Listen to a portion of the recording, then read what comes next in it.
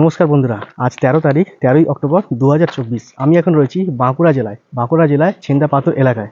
এই ছেন্দা পাথর এলাকাটি বিশেষ গুরুত্বপূর্ণ আমাদের মতো বাঙালি তথা সারা ভারতবর্ষের কাছে। এই জায়গাটিতে বীর বিপ্লবী শহীদ ক্ষুদিরাম বসু একসময় গুপ্ত ঘাঁটি গড়েছিলেন। এই হচ্ছে সেই জায়গা বিপ্লবী ক্ষুদিরাম বসুর গুপ্ত ঘাঁটি।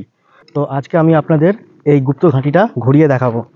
এর আগে আমি আপনাদের মৌবনী গ্রাম মানে ক্ষুদিরাম বসুর জন্মভিটে ঘুরিয়ে দেখিয়েছি। তো আজকে দেখাবো গুপ্ত ঘাঁটি। এখানেই ক্ষুদিরাম বসু বোমা বাদ বাঁধতেন এক সময়। দেখুন, এখানে ক্ষুদিরাম বসুর একটি আবক্ষ মূর্তি রয়েছে। আর চারিদিকের পরিবেশটা আমি একবার দেখাতে বলব। এখানে একটা ওয়াচ টাওয়ার হচ্ছে খুব সম্ভবত। পার্ক রয়েছে ছোটোখাটো বাচ্চাদের খেলাধুলার জন্য। জায়গাটি একটু পরিষ্কার পরিচ্ছন্নতার অভাব বোধ করছি। আমার যেটা মনে হচ্ছে, এর আগে আপনাদেরকে একটা ভিডিওতে আমি ক্ষুদিরাম বসুর গ্রামের বাড়ি দেখিয়েছিলাম সেটা হচ্ছে মোহবনী গ্রাম।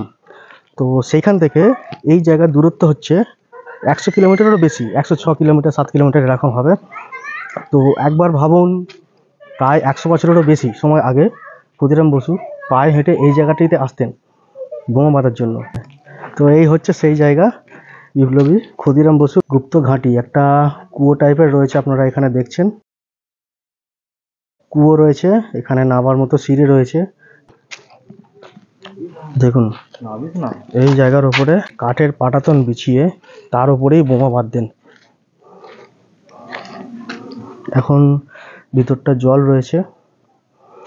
গরমের সময় পুরো শুকনো থাকে।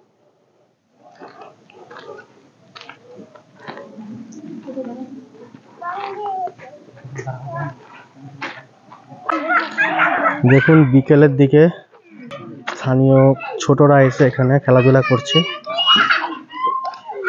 দোলনা রয়েছে। হ্যাঁ, প্রচুর খেলাধুলা করছে এরা।